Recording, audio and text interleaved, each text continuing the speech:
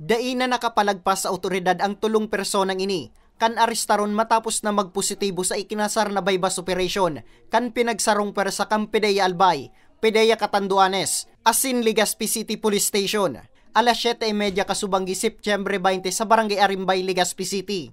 Binisto ang tulong nadakop na sinda Paul Simon Ortiz na target sa operasyon asin drug den maintainer. Arestado man si Raymar Asurin asin Jerome Ortiz na interong residente kang nasambit na syudad.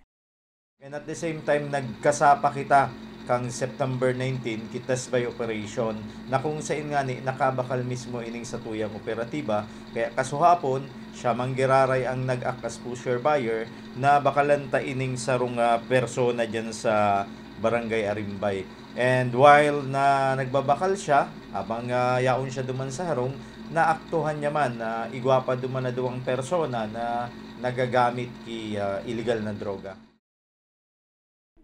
Na-recover sa posyon kan mga sospek ang nagkapirang plastic sa shaylog ang pigtutubuda na shabu na may gabat na labidis 6 gramo o 109 mil pesos ang street value.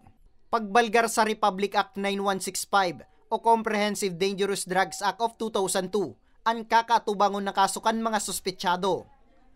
Si Arimbay po, drug cleared na yan way back I think 2019 or 2020.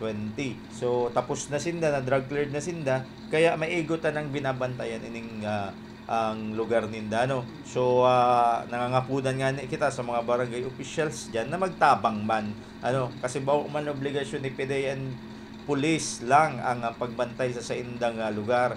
Primarily sinda dapat diyan ang frontliner ano. Katakod kay ni padagos mandang sa indang ginigibong monitoring asin pagkundusir ning operasyon nga ni makurtar na ang paglakop kang illegal na droga sa probinsya ning Albay. Para sa mga baretang tatak Bicol, Nomer Corporal,